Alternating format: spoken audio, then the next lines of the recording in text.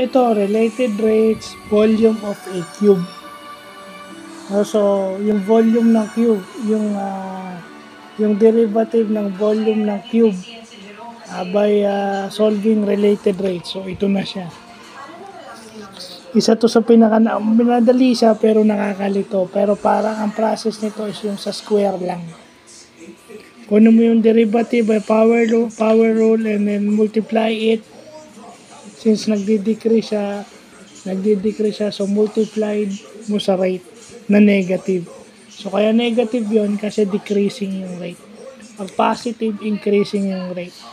So, yun yung isa sa mga concept na matututunan natin dito. Sa ComSci, sa IT, ano tayo dyan eh, yung increase at saka decrease, dun lang tayo dapat magpo-focus. Dahil dun tayo makaka-relate. Dahil ang field natin ay increasing and decreasing ng signals.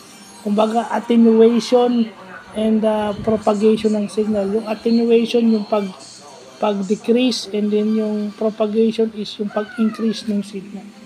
So bigyan ko na lang kayo ng halimbawa tungkol dyan. So yun lang po.